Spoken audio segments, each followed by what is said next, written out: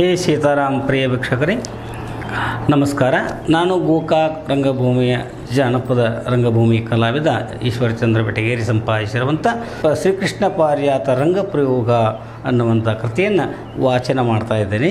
ಪಗಡೆ ಆಟದಲ್ಲಿ ಸತ್ಯಭಾಮೆ, ರುಕ್ಮಿಣಿಯರ ಕೂಡ ಸರಸ ಸಮಾಗಮವಾಗದೆ ವಿರಸ ಉಂಟಾದಾಗ ಕೃಷ್ಣ ಪರಮಾತ್ಮ ಲೋಕಕ್ಕೆ ಮಾನ್ಯರ ಅಂತ, ದೇವತೆಗಳ ಅಂತ, ಲೋಕ ಸಂರಕ್ಷಣೆ ಮಾಡುವಂಥ ಶಕ್ತಿಯನ್ನು ಹೊಂದಿರುವಂಥ ನೀವು ಈ ರೀತಿಯಂಥ ಕಲಹ ಮಾಡಿದರೆ ಹಾಗೆ. ಇದು ಸರಿಯಲ್ಲ. ಸ್ತ್ರೀ ಜಗತ್ತಿಗೆ ಪೂಜ್ಯಳದಾಳ. ಯಾಕಂದರೆ ಅಂಥ ಒಂದು ಸ್ತ್ರೀಯಿಂದ ಲೋಕ ಕಲ್ಯಾಣ ಆಗ್ತದೆ. ಅವಳು ಜಗತ್ಮಾತೆಯ ಸ್ವರೂಪಳಿದಾಳೆ. ಹೀಗಾಗಿ ಆ ಜಗನ್ಮಾತಾ ಸ್ವರೂಪ ಅಂತ ನೀವಾದರೂ ಕೂಡ ಜಗವಂದರಿದಿರಿ ನೀವು ಈ ರೀತಿ ಕಲಹ ಮಾಡುವುದು ಬೇಡ ಎಂದ ಕ್ಷಣ ಸತ್ಯಭಾಮೆ ಕೃಷ್ಣನನ್ನು ಕುರಿತು ಭಕ್ತಿಯಿಂದ ಒಂದು ಮಾತನ್ನು ಹೇಳ್ತೀನಿ ಸ್ವಾಮಿ ಎಂದಾಕ್ಷಣ ಆಗಲಿ ಹೇಳುವುದು. ಯಾದವ ನೀ ಬಾ, ಯದುಕುಲ ನಂದನ, ಮಾಧವ ಮಧುಸೂದನ ನೀ ಬಾರು ಅಂಥೇಳಿ ಅನ್ನುವಂಥ ಒಂದು ಪದ್ಯವನ್ನು ಸ ಸರಾಗವಾಗಿ ಸಂಗೀತಮಯವಾಗಿ ಹೇಳ್ತಾರೆ. ಯಾದವ ನೀ ಬಾರೋ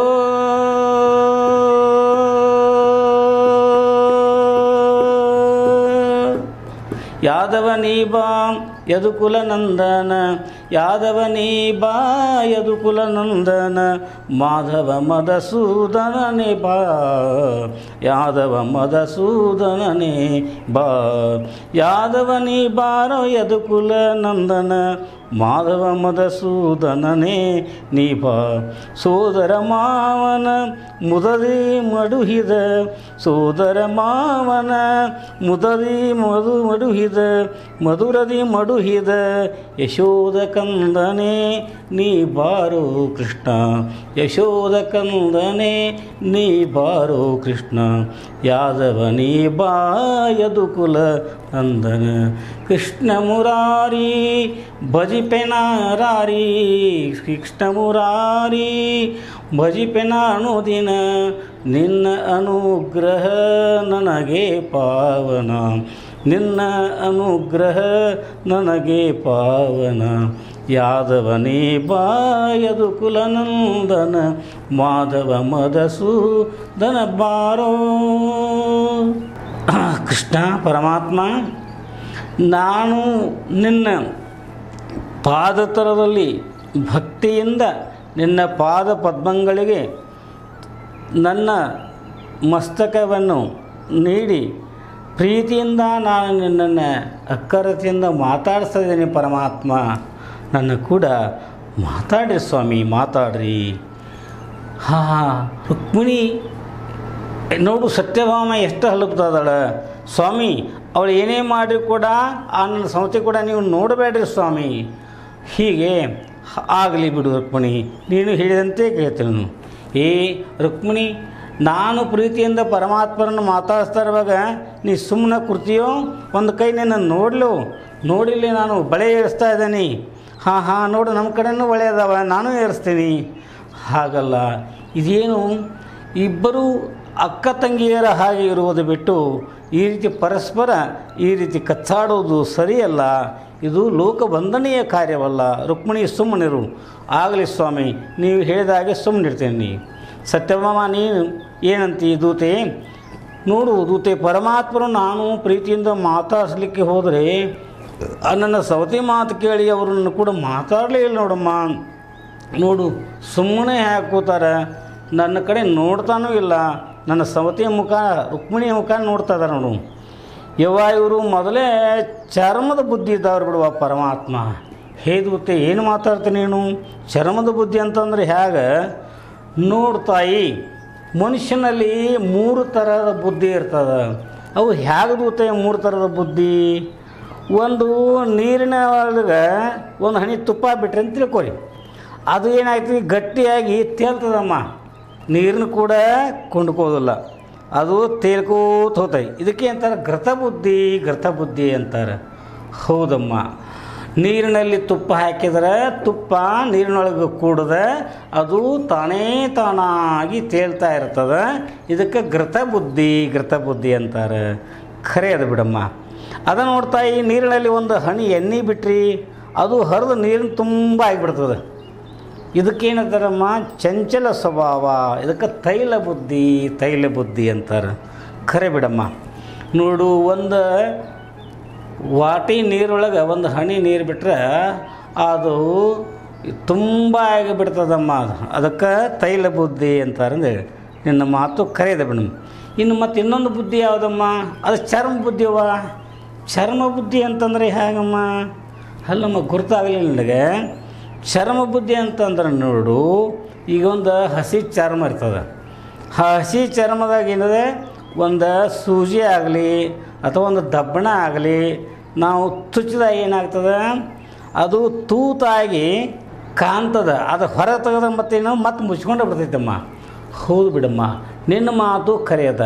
ಚರ್ಮದೊಳಗೆ ನಾವು ಒಂದು ಸೂಜಿ ಸುತ್ತಲಿ ಅಥವಾ ಒಂದು ಮಳೆ ಚುಚ್ಚಲಿ ಅಥವಾ ಏನಾದ್ರು ದಬ್ಬನ ಚುಚ್ಚರು ಕೂಡ ಆ ವೇಳೆಗೆ ಮಾತ್ರ ಅದು ತೂತು ಆಗಿದ್ದರೂ ಕೂಡ ಅದನ್ನು ತೆಗೆದು ಸೂಜಿ ತೆಗೆದ ಕ್ಷಣ ದಬ್ಬಣ ತೆಗೆದ ಕ್ಷಣ ಮತ್ತದು ಮುಚ್ಚಿಕೊಂಡು ಮತ್ತೆ ಹೆಂಗಿದ್ದಂಗನ ತೋರ್ತದೆ. ಹೌದಲ್ಲಮ್ಮ? ಹೌದಮ್ಮ, ನಿನ್ನ ಮಾತು ಖರಣೆ ಅದ. ಈಗ ಪರಮಾತ್ಮರು ನನ್ನ ಸೌತಿ ಹೇಳಿದಂಗೆ ಕೇಳ್ತಾ ಇದಾರೆ ನೋಡಮ್ಮ. ಈ ಪರಮಾತ್ಮರಿಗೆ ಇವಷ್ಟೇ ಬೇಕೇನು? ನನಗೂ ಇವರು ಪತಿ ಅಲ್ಲಿ ನಮ್ಮ ಹಿಂಗ್ಯಾಕೆ ಮಾತಾಡ್ತೇವ? ನೋಡು ರುಕ್ಮಿಣಿ ತಾಯಿ, ಹೆಂಗೆ ಕೃಷ್ಣ ಪರಮಾತ್ಮನನ್ನ ಮದುವೆ ಮಾಡಿಕೊಂಡು ಅವಳ ಅವರ ಕೈಯಿಂದ ತಾಳಿ ಕಟ್ಟಿಸಿಕೊಂಡಿದ್ದಾಳು, ಹಾಗೆ ನೀನಾದರೂ ಕೂಡಮ್ಮ ಪರಮಾತ್ಮನನ್ನು ಗುರು ಹಿರಿಯರ ಸಮಕ್ಷಮವಾಗ ನೀನು ಮದುವೆ ಮಾಡಿಕೊಂಡು ಅವರ ಕೈಯಿಂದ ತಾಳಿ ಕಟ್ಟಿಸಿಕೊಂಡು ನೀನು ಕೂಡ ಅವರ ಪತ್ನಿ ಅದೀನಿ ಅಮ್ಮ, ನೀವು ಇಬ್ಬರು ಧರ್ಮ ಪತ್ನಿಯರೇ ನಿಮ್ಮಲ್ಲಿ ಯಾವ ಭೇದನೂ ಇಲ್ಲ ನೋಡಮ್ಮ.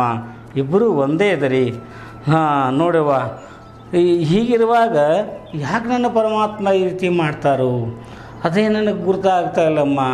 ಪರಮಾತ್ಮ ಇಬ್ಬರಿಗೂ ಅಷ್ಟೇ ಇರಬೇಕಾಗಿತ್ತು. ಯಾಕೆ ಈ ರೀತಿ ಮಾಡ್ತಾ ಇದ್ದಾರೆ ಅನ್ನೋದು ನನಗೂ ಗೊತ್ತಾಗುತ್ತಲ್ಲ ಎಲ್ಲವನ್ನೂ ಬಲ್ಲಂಥ ಪರಮಾತ್ಮ.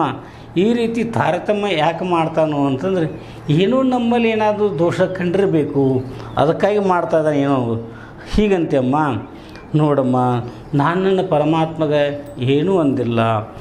ಮತ್ತು ಅವರು ಎಲ್ಲಿ ಹೋದರು ಅಂತ ನಾನು ಕೇಳೋದಿಲ್ಲ. ನನ್ನ ಅರಮಂದಿರದಲ್ಲಿ ಅವರು ಇಲ್ಲದ್ದರಿಂದ, ಹಾಗೆ ನಾನು ಅವರನ್ನು ಸರ್ವದ ಯಾವ ಕಾಲಕ್ಕೂ ಅವರನ್ನು ಸೇವೆಯನ್ನು ಮಾಡುವಂಥ ಅಪೇಕ್ಷೆ ಉಳ್ಳವಳಾಗಿ ಅವರನ್ನು ಹುಡುಕ್ತಾ, ಅವರನ್ನು ನೆನೆಸ್ತಾ, ಹಾಗೇ ನಾನು ಬರುವಾಗ ಘೋರ ಘೋರ ಘೋರ ಅಂತೇಳಿ ನಾನು ಮಧ್ಯರಾತ್ರಿಯಲ್ಲಿ ಬಂದೆ. ನಿನಗಾದರೆ ಗೊತ್ತದಮ್ಮ? ಹೌದಮ್ಮ, ಘೋರ ಘೋರ ಅಂತೇಳಿ ಬಂದು, ನೀವು ಬಂದು ನಿಂತ ಕ್ಷಣ, ನಿಮ್ಮನ್ನು ಕಂಡಾಕ್ಷಣ ನಮ್ಮ ಮನಸ್ಸಿಗೆ ಏನಾಯ್ತಂತಂದರೆ ಯಾರೋ ಒಬ್ಬ ಪುಣ್ಯ ಸ್ತ್ರೀ ಅಷ್ಟಲ್ಲದೆ ಆಗರ್ಭ ಶ್ರೀಮಂತಳು ಒಂದು ಮಧ್ಯರಾತ್ರಿಯಲ್ಲಿ ಬಂದಿದ್ದಾಳೆ? ಅಂದ ಕ್ಷಣ ನಿಮ್ಮನ್ನು ಕಂಡು ನಿಮ್ಮ ಕೂಡ ಮಾತಾಡಿದಾಗ ಹಾಗೆ ಹೇಳಿದ್ರಿ ತಾಯಿ, ಇತ್ತ ಕಡೆ ಒಂದು ಹೊಳೆ ಆಗ್ಯದ ಇತ್ತ ಕಡೆ ಒಂದು ಭಾನ ಆಗ್ಯದ ಮತ್ತು ನಾವು ಕುಚೇಷ್ಟಿಂದ ನಡ್ಕೊಂಡು ಹೊಳೆ ಹಾ- ಹಾಯಿಸ್ಬಿಡ್ರಿ ಅಂತಂದ್ರೆ ಕೆರೆ ಬಾವಿ ಎಲ್ಲ ಏಕಾಗಲಿ ಅಂತೇಳಿ ಹೇಳಿದೆವು. ಆಗ ನಿನ್ನಲ್ಲಿ ಮನದಲ್ಲಿರ್ತಕ್ಕಂಥ ಎಲ್ಲ ಕ್ಲೇಶವನ್ನು ನಮಗೆ ಕೂಡ ಹೇಳಿದ ಕ್ಷಣ ತಾಯಿ ನಮಗಾದರೂ ಕೂಡ ನಿನ್ನ ಸೇವೆಯನ್ನು ಮಾಡಬೇಕಂತೇಳಿ ಅಲ್ಲಿಂದ ಇಲ್ಲಿಯವರೆಗೆ ನಾನು ನಿನ್ನನ್ನು ಕರ್ಕೊಂಡು ಬಂದೆನಮ್ಮ. ಹಾಗೆ ಪರಮಾತ್ಮರ ದರ್ಶನಕ್ಕಾಗಿ ನಿನ್ನ ಹಂಬಲಪಟ್ಟಿ. ಯಾಕಂದರೆ ತ್ರಿಲೋಕ ಸಂಚಾರಿಗಳಂತ ನಾರದ ಮಹರ್ಷಿಗಳು ಬಂದು ನಿನಗೆ ಏನು ಹೇಳಿದರು? ಆ ಒಂದು ಪಾರಿಜಾತ ಪುಷ್ಪವನ್ನು ತಂದಂಥ ವಿಷಯವನ್ನು ಹೇಳಿದ ಕ್ಷಣ ಮೊದಲು ನೀನು ಅಕ್ಕ ತಂಗಿ ಅನ್ನುವಂಥ ಭಾವವನ್ನು ಹೊಂದಿದ್ದವಳು. ಒಮ್ಮೆಲೆ ಆ ಪಾರಿಜಾತ ಪುಷ್ಪದ ಮಹತ್ವವನ್ನು ಕೇಳಿದಾಗ, ಎಲ್ಲಿ ಈ ಪಾರಿಜಾತ ಪುಷ್ಪ ಯಾರ ಹತ್ತಿರ ಇರ್ತದೆ? ಅಲ್ಲಿ ಹದಿನಾರು ಸಾವಿರ ಗೋಪಿಕಾಸ್ತ್ರಿ ಇರಲಿ ಏಳು ಮಂದಿ ಪಟ್ಟಧರಿಸಿ ಇರಲಿ ಸಾಕ್ಷಾತ್ ಕೃಷ್ಣ ಭಗವಂತನೂ ಕೂಡ ಅವರು ಹೇಳಿದಂಗೆ ಕೇಳ್ತಾರೆ ಅನ್ನುವಂಥ ಮಾತನ್ನು ನಾರದ ನಿನಗೆ ಹೇಳಿದ ಕ್ಷಣ ನಿನ್ನ ಮನಸ್ಸು ವಿಚಲಿತವಾಯಿತು ತಾಯಿ. ಅಸಹಜವಾಗಿ ನನ್ನ ಗಂಡ ನನ್ನ ಹತ್ತಿರ ಇರಬೇಕನ್ನುವಂಥ ಭಾವ ಪ್ರತಿಯೊಬ್ಬರಲ್ಲಿ ಇದೆ. ಯಾಕಂದರೆ ಸತಿ ಪತಿ ಅಂತಂದರೆ ಕೂಡ ನೋಡಲಿಕ್ಕೆ ಎರಡು ದೇಹಗಳು ಬೇರೆ ಬೇರೆ ಆದರೂ ಕೂಡ ಜೀವ ಮಾತ್ರ ಒಂದೇ ಅದ. ಅದೇ ಜೀವಾತ್ಮ ಮತ್ತು ಪರಮಾತ್ಮರ ಒಂದು ಐಕ್ಯತೆಯನ್ನು ಸಾರುವಂಥ ಲಕ್ಷಣ. ಅದು ಸಾಮಾನ್ಯರ ಅಂತ ನಮ್ಮಲ್ಲಿ ಅದ ತಾಯಿ, ದೇವಾನು ದೇವತೆಗಳ ಅಂತ ನಿಮ್ಮಲ್ಲಿಯೂ ಕೂಡ ಅದ. ಅದಕ್ಕಾಗಿ ಶಿವಪಾರ್ವತಿಯರು ಜೋಡಿಯಾಗಿದ್ದಾರೆ. ಆ ಮಹಾಲಕ್ಷ್ಮಿ ವಿಷ್ಣು ಪರಮಾತ್ಮ ಜೋಡಿಯಾದರೆ. ಈಗ ಹತ್ತು ಅವತಾರಗಳನ್ನು ತಾಳಿ ಬಂದರೂ ಕೂಡ ಕೃಷ್ಣ ಪರಮಾತ್ಮ ಪ್ರತಿಯೊಂದು ಅವತಾರದಲ್ಲಿ ಜೋಡಿ ಜೋಡಿಯಾಗಿನ ದಂಪತಿ ಜೀವನವನ್ನು ನಡೆಸಿದಾನೆ. ಈ ಕೃಷ್ಣಾವತಾರದಲ್ಲಿ ಮಾತ್ರ ಭಕ್ತರನ್ನು ಉದ್ಧಾರ ಮಾಡುವುದಕ್ಕಾಗಿ ಆತನು ಹಿಂದೆ ಋಷಿಮುನಿಗಳಿಗೆ ಅಭಯವನ್ನು ಕಟ್ಟ ಕಾರಣ ಹದಿನಾರು ಸಾವಿರವರು ಗೋಪಿಕಾಸ್ತೆಯರಾಗಿ ಹುಟ್ಟಿ ಬಂದಾಗ ಅವರೊಂದಿಗೆ ನೀವು ಅಷ್ಟಮೈಶ್ವರ್ಯ ಕೂಡ ಕೃಷ್ಣ ಪರಮಾತ್ಮ ಜೀವನವನ್ನು ಆದರ್ಶವಾಗಿ ಬದುಕ್ತಾ ಇದ್ದಾನೆ. ಆದರೆ ಆ ಪರಮಾತ್ಮನ ಲೀಲೆಯನ್ನು ಸಾಮಾನ್ಯರ ಅಂತ ನಮಗೆ ಅರಿಯುವುದು ಅಸಾಧ್ಯ. ಕೃಷ್ಣ ಪರಮಾತ್ಮ ಲೋಕಕ್ಕನ ಒದ್ದೊಳೆಯದನ್ನು ಮಾಡಲಿಕ್ಕೆ ಬಂದಿದ್ದಾನೆ ತಾಯಿ. ನೀನು ಆತನ ಧರ್ಮಪತ್ನಿ ಅಂದುಕೊಳ್ಳಿ ಯಾವಾಗಲೂ ನಿನ್ನನ್ನು ಆತ ಕೈ ಬಿಡೋದಿಲ್ಲ. ನಾವು ಮತ್ತೊಮ್ಮೆ ಪ್ರಯತ್ನವನ್ನು ಮಾಡಬೇಕು. ನೋಡಿ ರುಕ್ಮಿಣಿ ತಾಯಿಯ ಒಂದು ಮಂದಿರದಲ್ಲಿ ನಾವು ಬಂದೆ ಬಂದ ಮೇಲೆ ನಾ ಪರಮಾತ್ಮ ಇಲ್ಲೇ ಇದ್ದ ಕಾರಣ ಅವರಿಬ್ಬರು ಕೂಡಿ ಪಗಡೆ ಆಟವನ್ನು ಆಡ್ತಾರವ. ಆ ಪಗಡೆಯ ಆಟದ ವಿನೋದವನ್ನು ನೋಡ್ತಾ ನನ್ನ ಮನಸ್ಸಿಗೂ ಕೂಡ ಬಹಳ ಆನಂದ ಆಯ್ತದೆ. ಸತ್ಸಂಗೇನ ಪರಂ ಪ್ರಾಪ್ಯ ದುಸ್ತರಂ ತರತೆ ಚುರಾತು ತಸ್ಮಾದತಿ ಪ್ರಯತ್ನೇನ, ಸತ್ಸಂಗಂ ಸತತಂ ಕುರು ಅಂತೇಳಿ ಹೇಳಿದ ಹಾಗೆ ನಿನ್ನ ಕೂಡ ಬಂದದ್ದರಿಂದ ನನಗೆ ಪರಮಾತ್ಮನ ದರ್ಶನವೂ ಆಯಿತು. ದರ್ಶನ ಆಗುವುದರ ಜೊತೆಗೆ ಪಗಡೆ ಆಟದೊಳಗೆ ಸ್ವರೂಪದ ಜ್ಞಾನವನ್ನು ಮಾಡಿಕೊಟ್ಟಂಥ ಪರಮಾತ್ಮ. ಈಗ ನಿನ್ನನ್ನು ಎಂದೂ ಕೈ ಬಿಡುವುದಿಲ್ಲ ತಾಯಿ. ನೀನೇನು ಹಾಗೆ ತಪ್ಪಾಗಿ ಭಾವಿಸಬೇಡ. ನಿನ್ನ ಪ್ರಯತ್ನವನ್ನು ನೀನು ಬಿಡಬೇಡ.